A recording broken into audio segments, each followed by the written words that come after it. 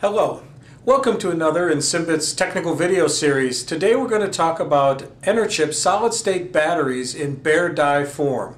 Now Simbit fabricates the Enerchip using semiconductor processes on silicon wafers. So essentially use standard semiconductor processes to build the Enerchip. You can see on this wafer we have 50 microamp hour Enerchips. Each of these little squares here is an Enerchip battery. We use standard uh, dicing and grinding techniques to create bare die. Now these devices can be used as bare die, or we also package them, of course, in the Enerchip packages available at distributors around the world. But today we're going to focus on using Cymbet Enerchips in their bare die form for what we call embedded energy applications. They're actually taking the bare die and placing it directly into other ICs or other devices directly. Now we build the 50 microamp hour devices.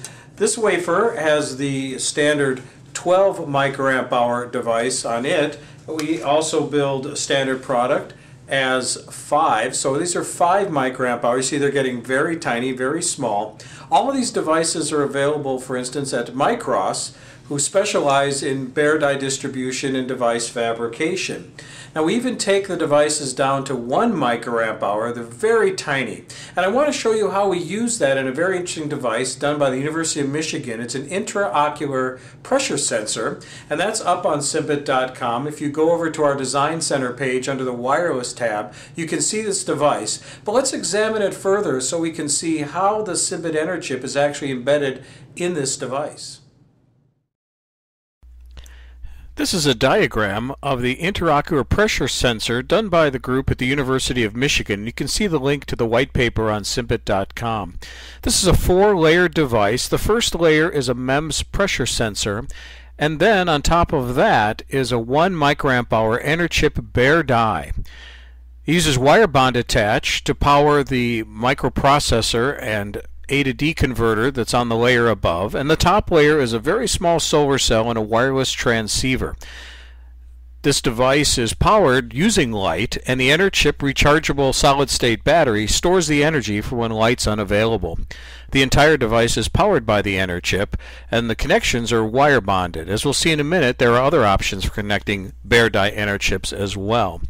The whole device fits in the eye, measures the pressure, and reports it out to a wand that the patient holds up in front of the eye to measure pressure in the eyeball.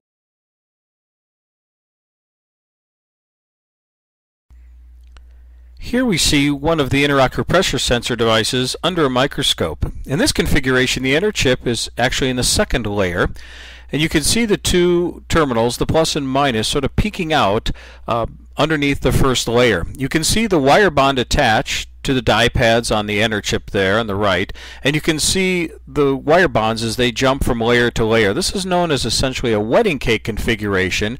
now we can take a closer look at the Enerchip.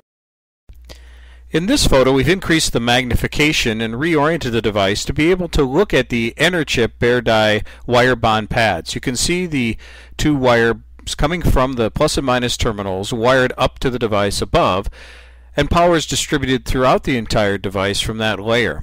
So you can see we're using standard semiconductor die attach techniques in this intraocular pressure sensor. Enerchip bare die can be attached in multiple ways. Down on the lower left hand corner of this slide we see the 3D stacking option that was used in the intraocular pressure sensor. They can also be placed side by side as they are in the Enerchip CBC 3105 shown in the slide above. You can also use solder bumps and a flip chip technique and attach them to a substrate that way, or you can combine the techniques, use wire bond and solder bumps in the same package in a system on chip. This photo shows an innovative way to stack devices using different size solder bumps. The inner Enerchip is the larger layer above using larger solder bumps that sits over the top of a smaller application-specific integrated circuit that uses tiny solder bumps. In this fashion, you can leverage your real estate by using a stacking technique and create very small devices.